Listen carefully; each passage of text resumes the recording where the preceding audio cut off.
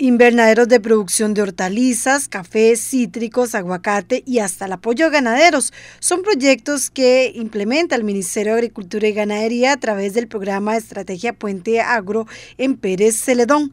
Se trata de 138 familias de distritos como San Pedro, Cajón, Rivas y Páramo que reciben este apoyo. Vamos a también pensar en invernaderos, producción de hortalizas en ambientes protegidos.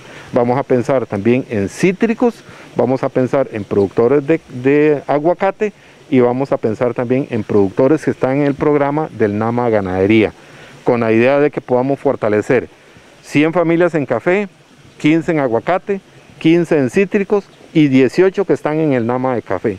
Entonces la idea es abarcar todo esto con el objetivo de poder este, ir eh, contribuyendo en la reactivación productiva del cantón. La intención es realizar el proyecto de la mano con otras instituciones como el Instituto de Desarrollo Rural y el Instituto Mixto de Ayuda Social. Ahora, ¿qué papel va a jugar el IMAS también? El IMAS nos va a apoyar también en otros productores que no se involucran en la parte de, de café eh, con, el, con recursos de INDER, pero vamos a poder meter también productores con recursos de Limas en el programa de ideas productivas.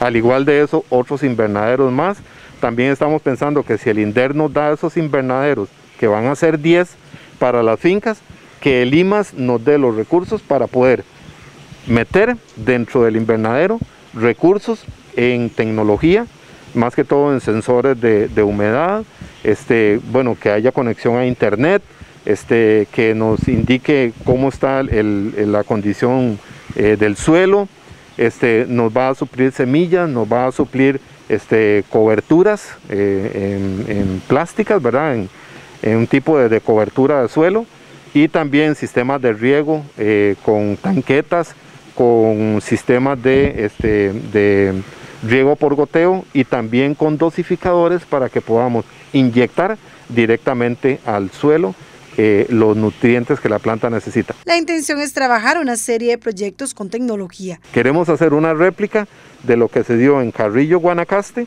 que ahí a nivel del mar producen lechugas, producen zanahoria, producen este, cebolla y queremos replicar eso en nuestro cantón con toda esa tecnología. Los beneficiados serán. Son productores que pueden ser clientes del Ministerio de Agricultura, como pueden ser productores que nosotros hayamos identificado que ya tienen un emprendimiento en, proceso, en camino.